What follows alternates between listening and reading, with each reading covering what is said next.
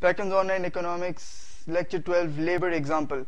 In the previous lecture, I was just describing you all those people who are going to be included in the labor. I told you that the managers are going to be included. Some people think that the managers are not going to be included because they think that uh, they're not giving any kind of effort, but they are giving their mental effort.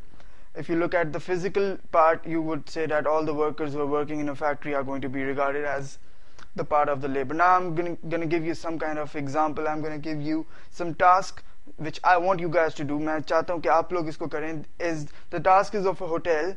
Uh, when you go to a hotel or a restaurant, I, when you go over there, what kind of people do you look uh, do you see over there? You look at the manager, you look at the waiters, you look at the people, the cook, all those people. So which person is going to be uh, included in labor वो सब लोग, जितने भी लोग हैं वहाँ पे, वो सब इंक्लूडेड हो जाएँगे लेबर के अंदर। तो ये आपका टास्क है, आप मुझे करके इस वीडियो के नीचे